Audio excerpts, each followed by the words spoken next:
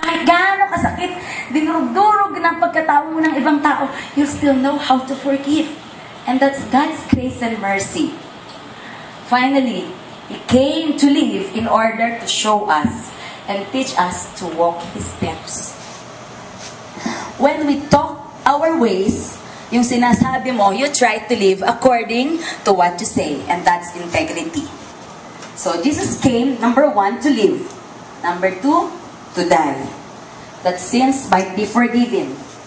Without shedding of His blood, there would be no actual forgiveness.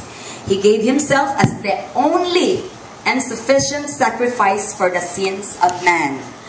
Kanya kahit anong pahirap mo sa katawan dyan, if you go, if you grow in Manila like me, sa Pampanga area, pagka Holy Week,